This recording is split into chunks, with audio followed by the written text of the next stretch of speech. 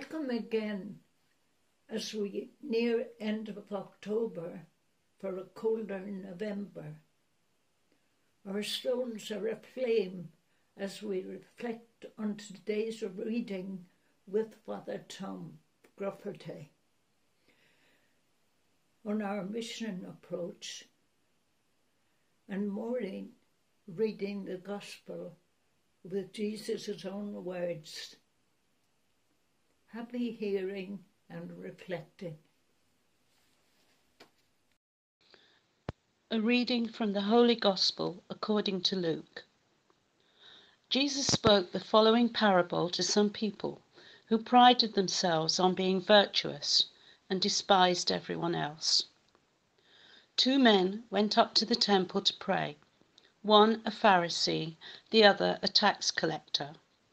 The Pharisee stood there and said this prayer to himself I thank you, God, that I am not grasping, unjust, adulterous like the rest of mankind, and particularly that I am not like this tax collector here. I fast twice a week. I pay tithes on all I get. The tax collector stood some distance away, not daring even to raise his eyes to heaven. But he beat his breast and said, God, be merciful to me, a sinner. This man, I tell you, went home again at rights with God. The other did not. For everyone who exalts himself will be humbled, but the man who humbles himself will be exalted. The Gospel of the Lord. You are very welcome to Mission Sunday 2022. Mission has taken on a new direction in the church. When I was young, going in the missions was going to Nigeria or to Africa generally. And there was something we had called pennies for the black babies. Now, it is not because of the prejudice contained in that saying that mission has changed in the church, but because of what who God is. He often turns the tables and rearranges things, but we don't always realize what is happening, and it sometimes takes years for us to appreciate what God is doing. I watched a group of young people coming out of school in Castlebar the other day, and about a hundred youngsters passed me, thirty of whom were of a different colour to me, and the interaction between all of these youngsters was profoundly beautiful. I noticed as well since I came to Knock two priests working locally who are from below the equator. So our pennies from the poor and our pennies for the black babies is paying high dividends. We need to allow ourselves to be enriched by those missionaries who have joined our shores and they have a great deal to teach us. Those people who joined us remind me of the greatest missionary of all, St. Paul. St. Paul's first missionary journey, considering the circumstances of his day, were extraordinary, not just because of the distance, but because of the bonding that took place between him and Barnabas and the people he visited, the people in Antioch and Perga and various other places. On Mission Sunday this year, we can easily become aware of our mission with Paul and a great many people are lamenting the past these days and not aware of what's happening in the present.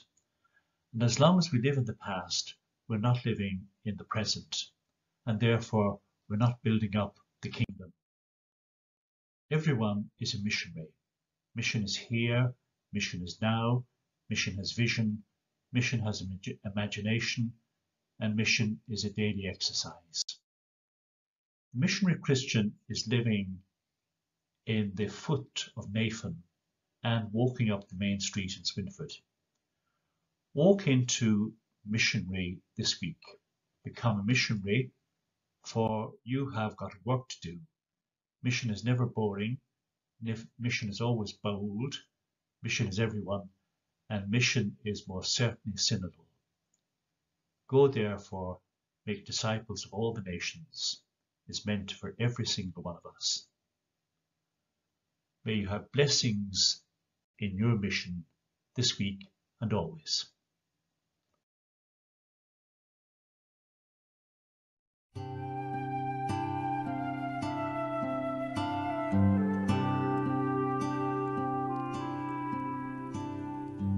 Christ has no body now but yours,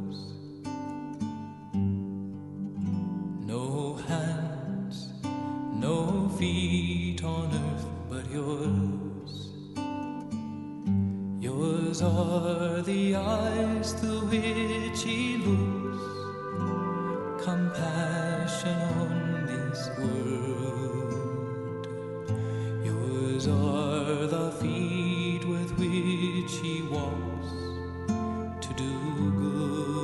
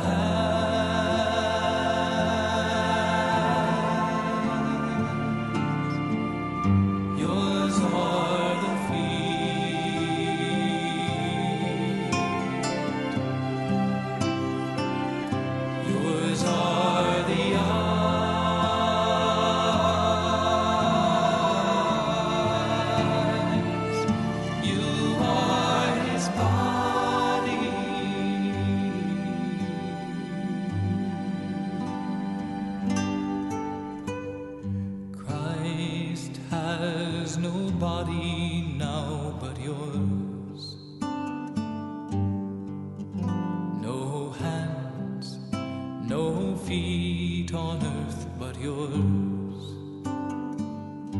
Yours are the eyes through which He looks, compassion on this world.